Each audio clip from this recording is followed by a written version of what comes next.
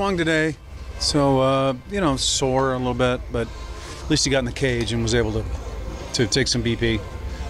Definitely available off the bench tonight, but we're going to give him another day at least to see. Well, you know what kind what we can do to treat it and get it better. But uh, he, he's able, but he, he, he's not feeling 100% yet. So off today as well.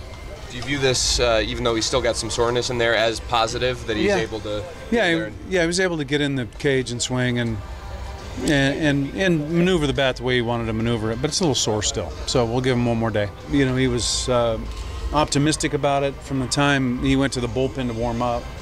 Um, you know, three innings, 17 pitches per.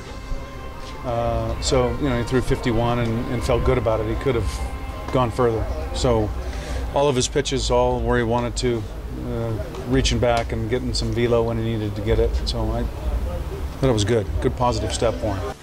That is Matt Williams. I think it's the best news of the pregame show. Stephen Strasburg with a simulated game, as he said, 51 pitches in three innings, Ray.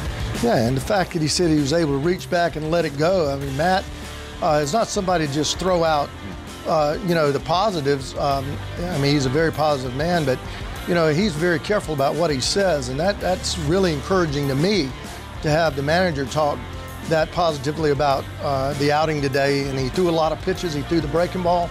Uh, he threw his fastball both ways, a four seamer and two seamer, and he looks like he came out of it uh, really good. So uh, it's a very positive sign. Hopefully, we'll be able to see him back on the mound uh, working for this ball club because we're going to need him down the stretch, no doubt.